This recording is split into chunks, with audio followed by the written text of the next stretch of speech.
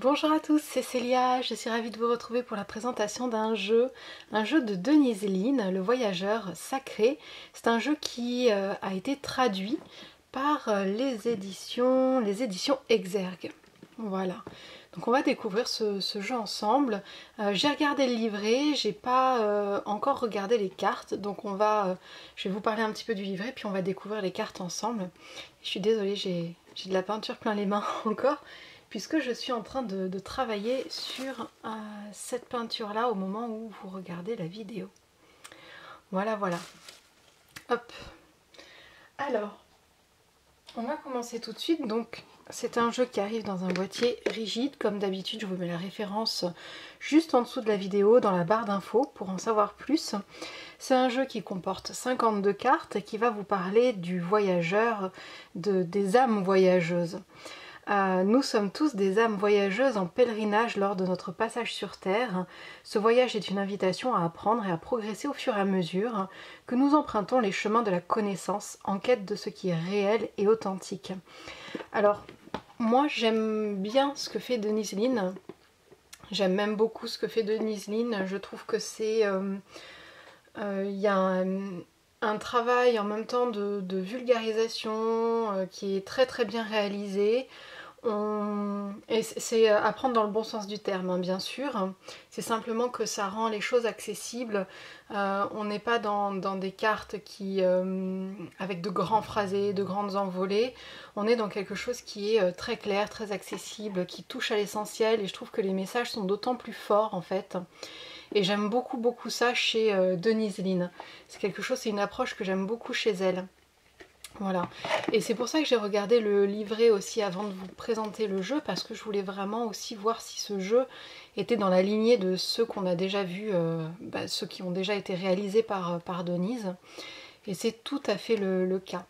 Alors vous avez un livret qui se compose de plusieurs parties. Donc on a bien sûr l'introduction, on a tout ce qui va être du, de l'ordre du voyage sacré, on a ensuite comment euh, utiliser les cartes oracles, la préparation, le choix des cartes, interpréter les cartes, les rangements des cartes, les méthodes de lecture des cartes, un aperçu spirituel pour la journée, un aperçu spirituel pour le mois, ça je trouve ça chouette justement d'avoir ces deux propositions.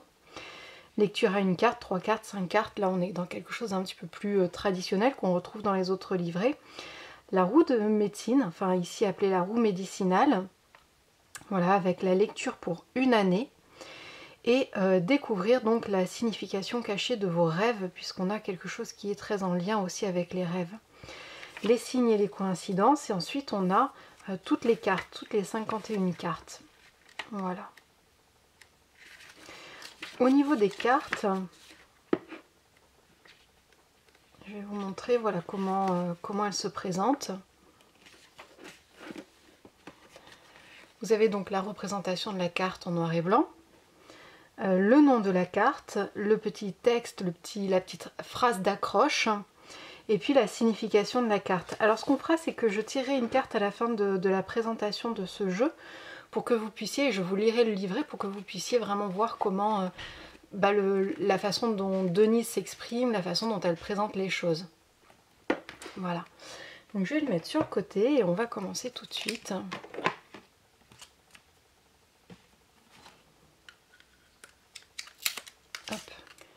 Alors on a un dos dans les tons de mauve, mauve foncé, mauve clair. Ah, moi j'ai une carte qui est un petit peu, qui est un petit peu abîmée. Ah oui, je sais pourquoi. C'est le papier qui maintenait. Le papier qui maintient comme ça, de temps en temps, ça peut abîmer un petit peu les cartes. Vous voyez, ça va appuyer ici sur les cartes. Bon, c'est pas grave. Euh, on peut euh, toujours avec l'ongle un petit peu remettre. Voilà, faire délicatement comme ça. Voilà, bon, c'est pas très grave. Alors on a une jolie illustration, toujours ce contour mauve aussi. Alors je vais peut-être le, le poser, le jeu. Alors on a répondre à l'appel, le temps est venu. Gravir la montagne, c'est une carte que je trouve très jolie. J'aime beaucoup les couleurs. Toujours aller de l'avant. Faites le premier pas, Commencez maintenant. Ouvrir la voie, une percée est à portée de main. Choisir sa voie, tout est possible. Les eaux purificatrices, la purification active la force vitale vibrante. Elle est belle aussi cette illustration. Traverser les ponts, c'est le moment de la guérison, de l'union, de la réparation et de la libération. La traversée du désert, ayez confiance au plan divin. Découvrir la vérité, vous êtes dans la lumière de la vérité. Le tonnerre au loin, clarifier les choses. Faire preuve d'enthousiasme, crier votre joie au ciel. Les pays lointains, préparez-vous à de nouveaux horizons. Les compagnons de route, le soutien est omniprésent. Trouver un sanctuaire, s'ouvrir à sa source spirituelle. La première lumière, amorcer un nouveau cycle. Dans le brouillard, ralentissez, prenez le temps. Les portes du triomphe, un succès grandissant dans votre vie. La grâce et la gratitude, la joie s'accroît avec la gratitude.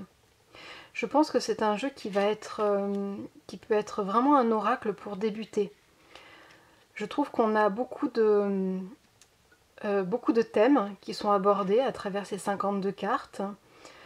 On a un oracle qui est, euh, doux, qui est, qui est lumineux. Enfin, moi, je le trouve très lumineux.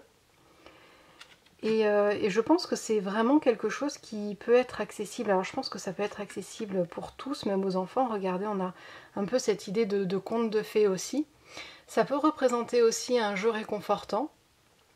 Parce qu'on a des messages qui sont quand même très doux dans ce que nous propose Denise Lynn. Donc je le trouve, euh, je le trouve chouette. Surmonter les obstacles. La passion et le plaisir, savourer votre vie la protection des anges, les anges vous chérissent, les bienfaits de l'arc-en-ciel, atteindre votre destination. Vous voyez qu'on a cette, euh, ces propositions qui sont très, euh, je trouve, très en lien avec les contes de fées. On a vu un peu l'épée d'Arthur hein, tout à l'heure. On pourrait avoir euh, Merlin ou le, magicien. Alors peut-être pas Merlin puisqu'on a une, représentation euh, d'une ville qui, n'est pas, euh, fortifiée comme, euh, comme on l'associerait au conte de Merlin. Donc ce serait un petit peu différent, mais on a cet astrologue. Accéder au pouvoir, voyager avec abandon, se mettre à l'abri, la transformation, voyager léger, découvrir le trésor, donc en fait, c'est un peu comme si vous étiez en train de vivre votre, votre, votre conte à vous. Et à travers ce jeu, on va vous raconter une histoire. Un cœur vaillant, à perte de vue. Donc je pense que ça peut être même très sympa aussi pour un tirage psychologique. Alors il faudrait qu'il n'y ait pas euh, les textes en bas et en haut, mais les images sont quand même euh, très sympas pour faire un, travail euh, psychologique, je trouve. La sagesse du meneur, on aura ici la guerrière euh, qui tient son, feu sacré.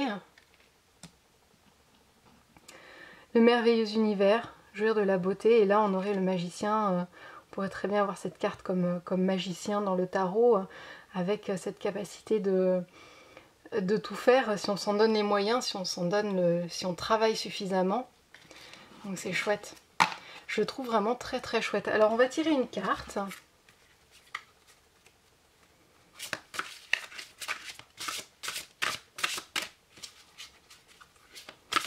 Les cartes sont de bonne qualité.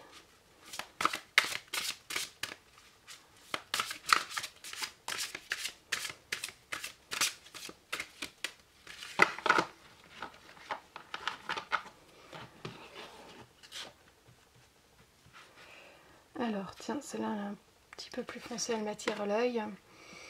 Les miracles. Alors, anticiper le merveilleux. Alors, par contre, vous voyez, il n'y a pas de numéro sur, euh, la carte et elle n'a pas été classée dans l'ordre alphabétique. Donc, il faut vous référer euh, ici à la liste des mots-clés. Et donc ici c'est les miracles. 91.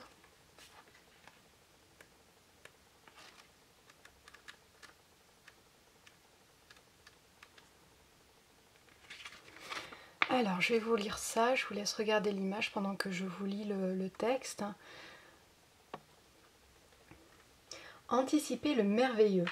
Alors, au niveau de la signification de la carte, un miracle vous attend au prochain tournant. Libérez-vous de la peur et de l'incertitude, et de majestueuses merveilles ne demandent qu'à s'offrir à vous. Anticipez-les et acceptez-les. Même si certaines d'entre elles se présentent sous une forme inhabituelle, ayez confiance que tout ce qui vous est offert concourt à votre bien supérieur. Attendez-vous à ce que des miracles se produisent dans votre vie.